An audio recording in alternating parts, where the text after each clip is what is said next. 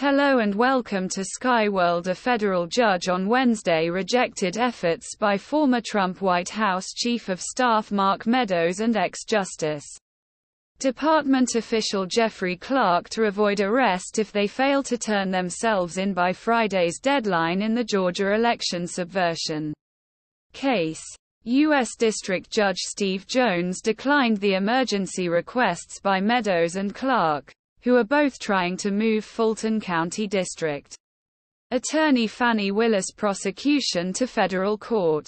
Meadows argued he should be allowed to avoid processing in the Fulton County election subversion case that has been brought against former President Donald Trump and 18 others ahead of a hearing scheduled Monday. T. He clear. Statutory language for removing a criminal prosecution, does not support an injunction or temporary stay prohibiting District Attorney Willis's enforcement or execution of the arrest warrant against